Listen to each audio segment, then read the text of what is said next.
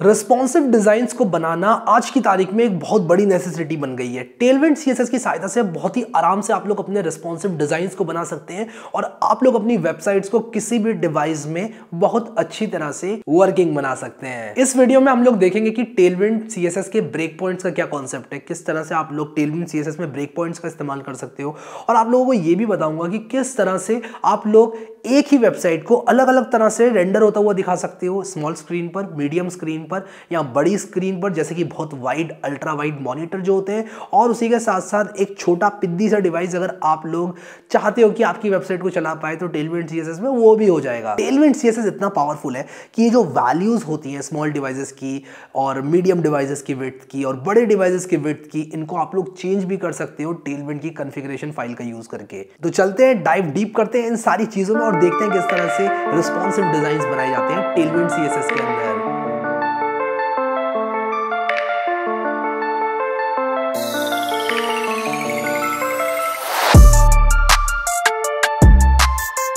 सो so मैं चुका हूँ वापस अपनी कंप्यूटर स्क्रीन के अंदर और अब यहाँ पर करने के वाले हैं? हम बहुत ही अच्छा वाला शॉर्टकट लेने वाले हैं क्योंकि मैंने ऑलरेडी टेम्पलेट को कॉपी कर दिया।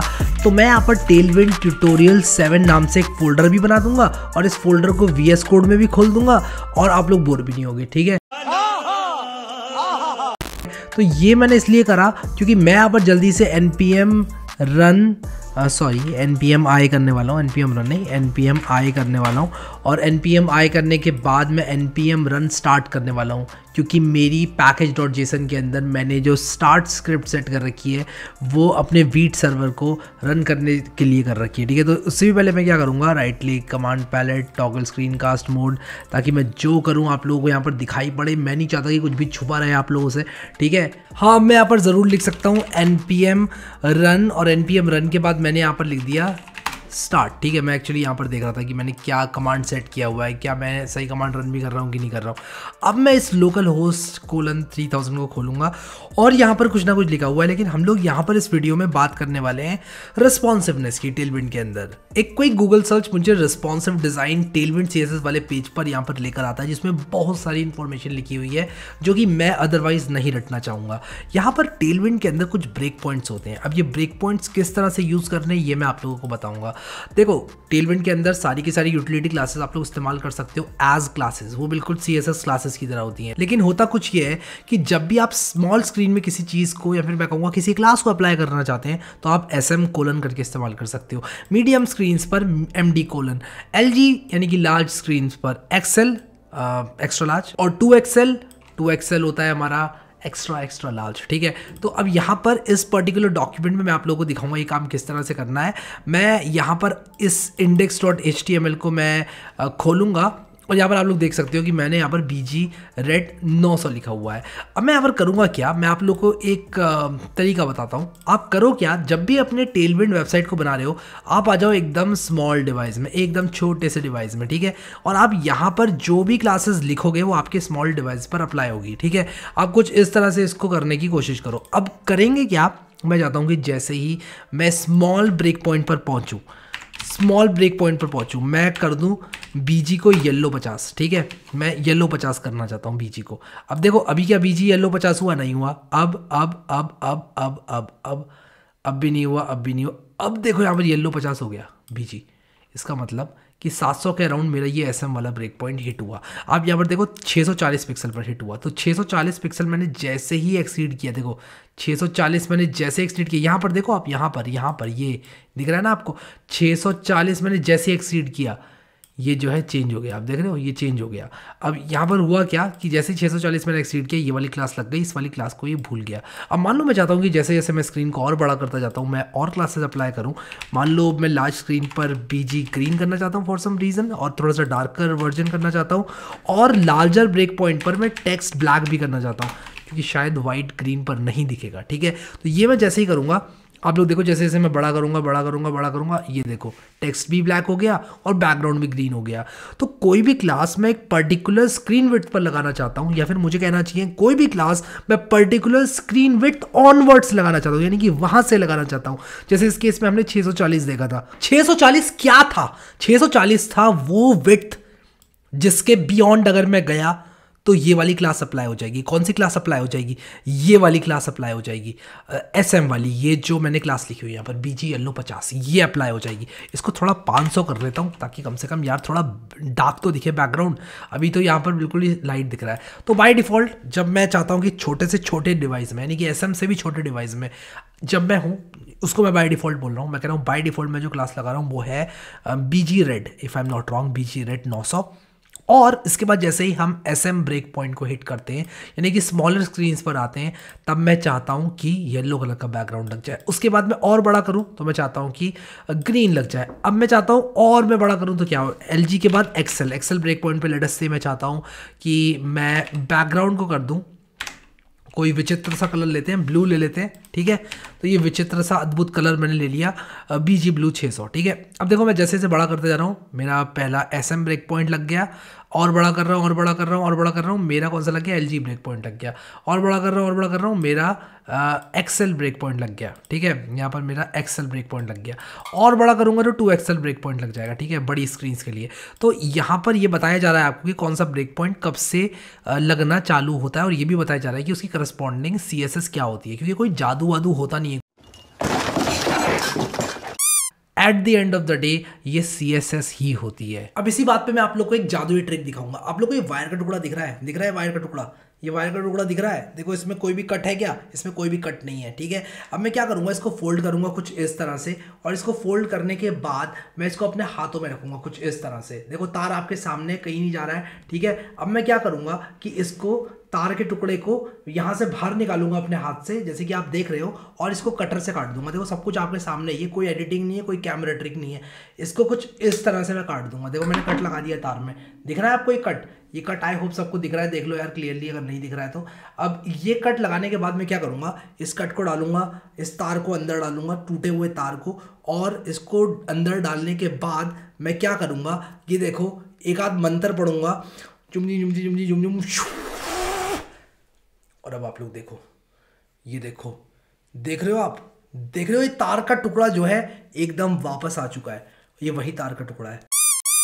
अब आप लोग नीचे जल्दी से कमेंट में बताओ कि ये जादू था या ये भी टेलविंड सीएसएस की तरह कोई जादू ट्रिक नहीं थी। जैसे कि टेलमेंट सी अंदर ही अंदर मीडिया क्वेरीज का इस्तेमाल करता है, ये भी एक ट्रिक थी, मुझे नीचे कॉमेंट बताओ क्या किया मैंने। तो कुल मिलाकर जिस तरह से हम लोग सीएसएस के अंदर मीडिया क्वेरीज का इस्तेमाल करते हैं टेलमेंट सी के अंदर हम लोगों को मीडिया क्वेरीज को मैनुअली लिखने की ज़रूरत नहीं है, हमको कुछ इस तरह के ब्रेक पॉइंट्स मिलते हैं, जिनको हम लोग इस्तेमाल कर सकते हैं। इससे हम लोग कोई भी रिस्पॉन्सिव लेआउट बना सकते हैं।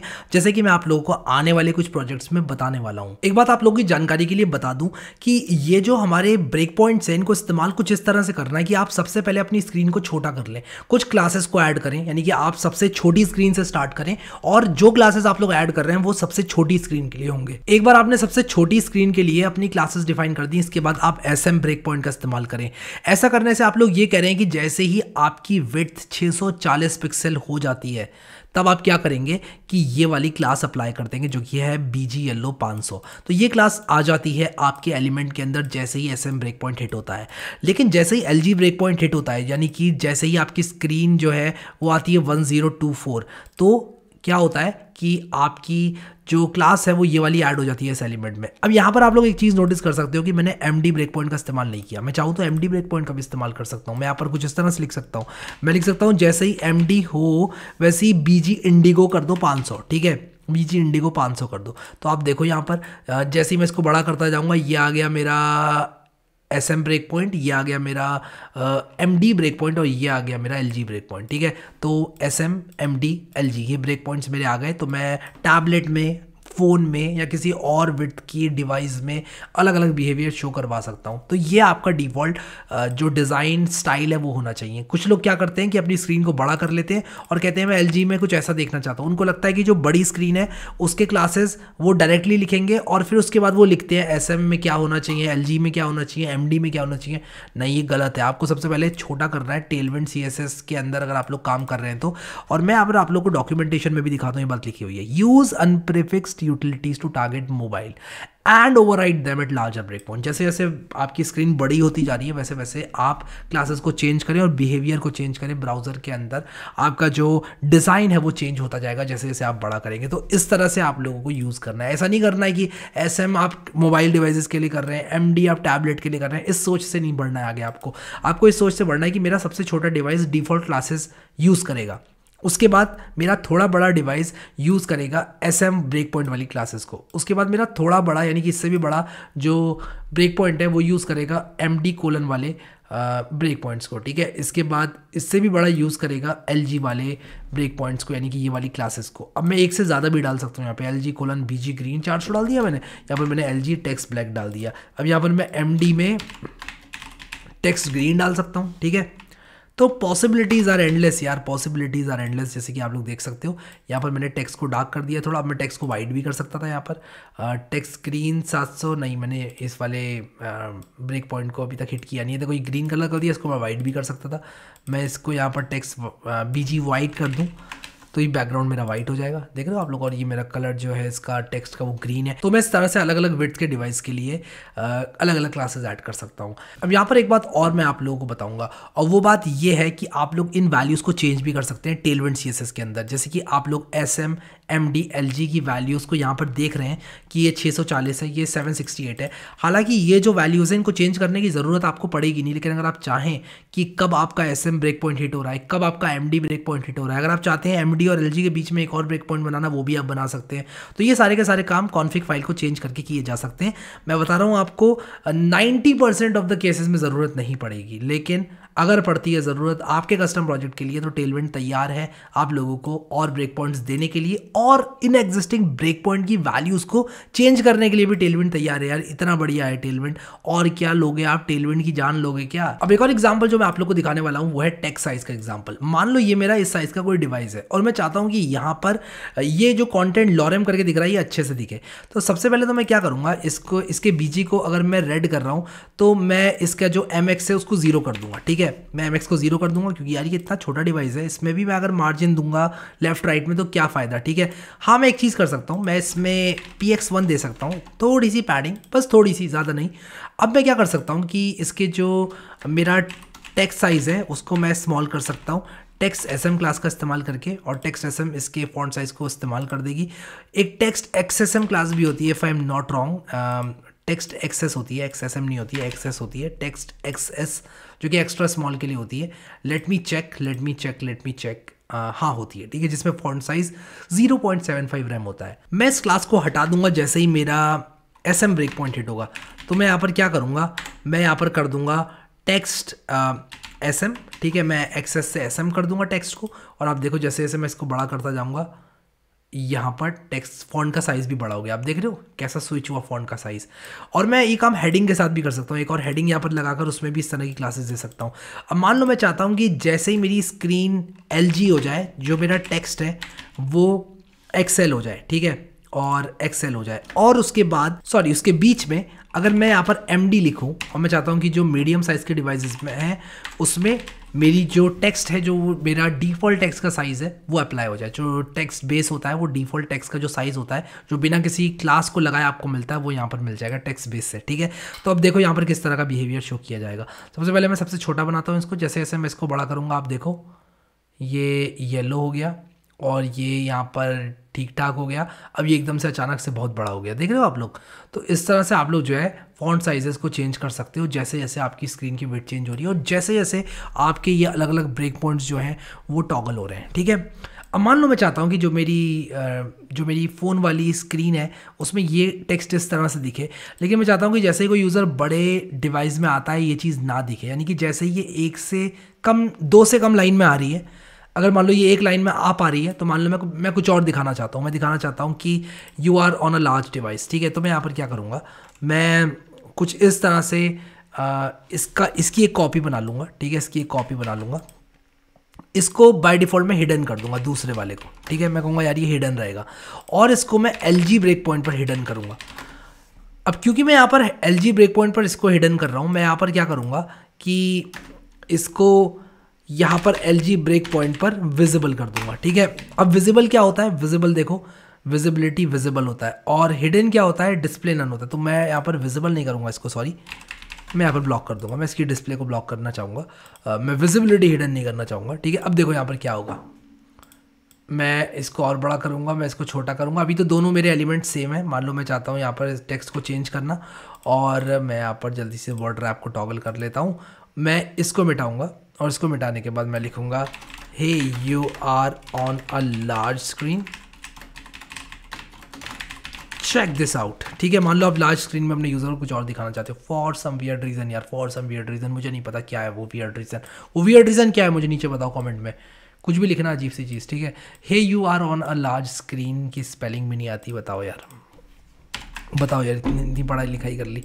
अब यहाँ पर देखो, इसको मैं जैसे ही छोटा करूँगा, lorem ipsum dolor sit amet कॉन्सेक consectetur ठीक है, इसको बाद में पढ़ेंगे। जैसे ही मैं बड़ी स्क्रीन में आता हूँ देखो, ये कह रहा है hey you are on large screen now check this out और ये ऊपर वाला जो है वो उसकी जो डिस्प्ले है वो एक्चुअली नन हो जा रही है और दूसरे वाले की डिस्प्ले ब्लॉक हो जा रही है। एंड वाइस वर्सा जैसे ही मैं स्क्रीन स्विच कर रहा हूँ, वैसे क्या हो रहा है कि इनकी क्लासेस अपने आप चेंज होकर इनकी C S S properties change हो जा रही है। तो बड़ी स्क्रीन पर अगर आप कुछ और एलिमेंट्स और छोटी स्क्रीन पर कुछ और एलिमेंट्स दिखाना चाहते हो तो वो भी चलता है, वो भी आप कर सकते हो। और जहाँ बात रही टेलविंड कॉन्फिक डॉट जे को एडिट करने की, ये आप तब एडिट करोगे जब आप बहुत ही एडवांस काम करना चाहते हो, जैसे कि आप ब्रेक पॉइंट्स वगैरह को चेंज करना चाहते हो। अदरवाइज़ हार्डली आप इसको एडिट करोगे। कुछ केसेस हैं जिसमें आप इसको कभी कभी एडिट करोगे, वो मैं आप लोग को बता दूँगा। So yeah that was all about building responsive design in Tailwind C I hope कि आप लोग को समझ में आया आई होप आप लोग को मज़ा आया आई होप आप लोग को ये कोर्स अच्छा लग रहा है। मुझे नीचे कॉमेंट में ज़रूर बताओ। और यहाँ पर काफ़ी चीज़ें मैंने चेंज करी हैं। मुझे बताओ यार, कैसे लग रहा है कोर्स आप लोगों को ये नया? और अभी के लिए इस वीडियो में इतना ही गए इस प्लेलिस्ट को एक्सेस करना, ज़रूर से बुकमार्क कर लेना। यहाँ क्लिक करके इसको बुकमार्क करना। लो जी, मैंने ही नहीं कर रखा है। बुकमार्क आपके सामने करता हूँ। अभी के अभी आप भी कर लो। Thank you so much guys for watching this video and I will see you next time.